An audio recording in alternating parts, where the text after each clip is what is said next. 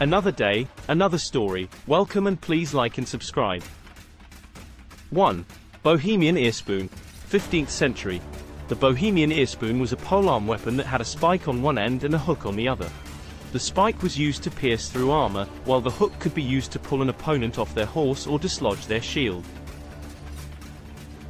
The earspoon was a popular weapon in Central Europe during the late medieval period. 2. Estoc, 14th-16th century.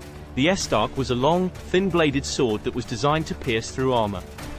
Unlike a regular sword, the estoc had a triangular or square-shaped blade that was sharpened on both edges. It was used primarily by knights and other heavily armored soldiers during the late medieval period. 3. Lucerne hammer, 15th-16th century. The Lucerne hammer was a polearm weapon that consisted of a hammerhead, spike, and hook. The hammerhead was used to deliver powerful blows, while the spike and hook were used to pierce through armor and pull an opponent from their horse. The Lucerne hammer was a popular weapon in Switzerland and Germany during the late medieval and early Renaissance periods. 4. Billhook, 14th-16th century. The billhook was a polearm weapon that had a curved blade on the end of a long handle. The blade was sharpened on the inside edge and was used to hook an opponent's armor or pull them from their horse. The billhook was used primarily by infantry during the late medieval period and was particularly effective against cavalry. 5. War scythe. 15th-16th century. The war scythe was a farming tool that was repurposed as a weapon during times of war. It consisted of a long wooden handle with a curved blade on the end that was designed to deliver slashing blows. The war scythe was used primarily by peasants and militias during the late medieval period, and was especially effective against lightly armored opponents. 6. Halberd, 14th to the 16th century. The halberd was a polearm weapon with a long wooden handle and a blade at the end that was shaped like an axe blade but with a spike on the top and a hook on the back. It was used by infantry in the late medieval period and was especially effective against cavalry due to its versatility.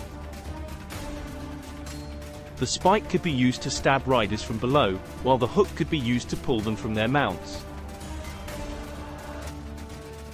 The halberd was also useful for breaking through armor.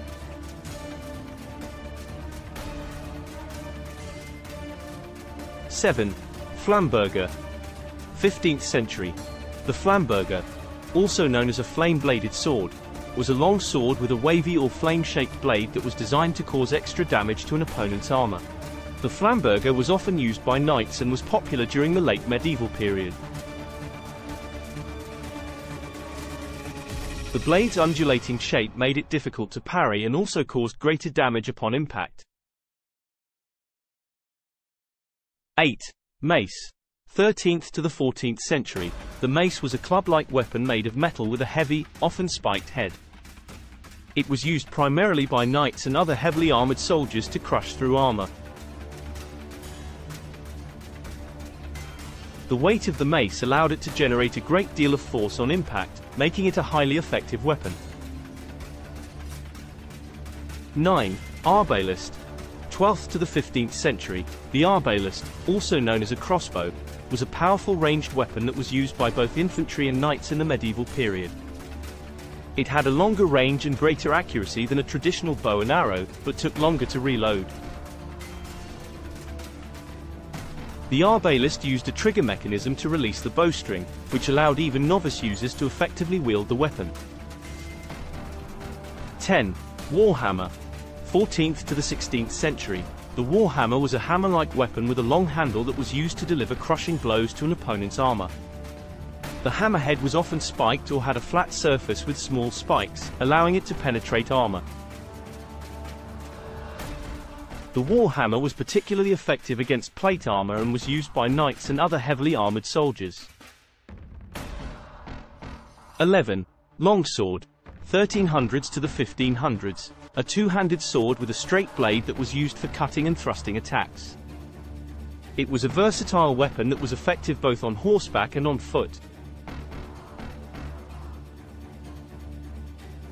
The length of the sword allowed the user to keep a safe distance from their opponent, while the pointed tip made it useful for thrusting attacks. The sword was often used in conjunction with a shield to provide additional protection. 12. Morning Star. 14th to the 16th century, the Morning Star was a blunt weapon that consisted of a spiked metal ball on the end of a long chain or handle. The chain or handle allowed the wielder to swing the weapon with greater force and reach. The Morning Star was primarily used by knights and other heavily armored soldiers during the late medieval and early Renaissance periods. 13. War pick. 13th to the 16th century, the war pick was a polearm weapon that consisted of a pointed metal spike on the end of a long wooden handle. The spike was designed to penetrate through armor and deliver powerful thrusts. The war pick was primarily used by infantry and was an effective weapon against heavily armored opponents. 14. Battle Axe. 1100s to the 1500s a single-bladed axe with a long handle that was used for both cutting and thrusting attacks. The axe was a versatile weapon that could be used to hack through armor or deliver quick thrusts to vulnerable areas. The long handle allowed the user to keep a safe distance from their opponent while still delivering powerful blows. The battle axe was often used by infantry and could be used to break through shields and armor. 15. Spear. 500s to the 1500s. A long pole with a pointed blade on the end that was used for thrusting attacks. The spear was a simple but effective weapon that could be used by both infantry and cavalry. The length of the spear allowed the user to keep their opponent at a safe distance, while the pointed tip made it useful for thrusting attacks. The spear was often used in large formations to create a wall of spear points. 16. Glaive. 1300s to the 1500s, a type of polearm with a single-edged, curved blade that was used for hooking onto armor and dismounting opponents on horseback. The glaive was often used by cavalry to break through enemy lines and create chaos in the enemy's ranks. The curved blade allowed the user to hook onto the enemy's armor and pull them off their horse.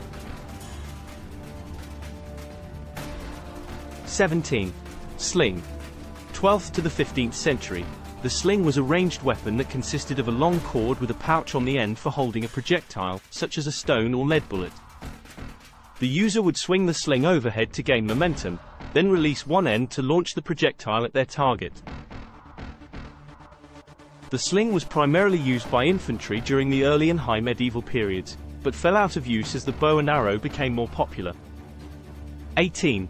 Falchion, 13th to the 16th century, the falchion was a type of single-edged sword that had a curved blade and a sharp point. The sword was designed for chopping and slashing and was effective against both unarmored and lightly armored opponents. The falchion was primarily used by foot soldiers and was a popular weapon in the late medieval and early Renaissance periods. 19. War flail. 15th century. The war flail was a type of two-handed weapon that had a wooden handle and a metal chain with a spiked ball at the end. It was used to deliver crushing blows to heavily armored opponents. And the long chain allowed the user to strike from a distance. 20. Handgun. 14th to the 15th century, the handgun was one of the earliest forms of firearms. A handheld gunpowder weapon that was fired by a touch hole. It was typically loaded with small pellets and was effective at close range against both armored and unarmored targets. Thanks for watching our list. Please like and subscribe.